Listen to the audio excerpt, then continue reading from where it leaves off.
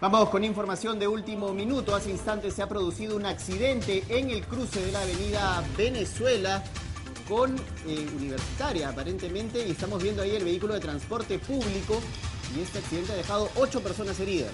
Así es, eh, ya la policía se encuentra en el lugar, también los bomberos han atendido a estas personas y ellas han sido trasladadas al hospital más cercano.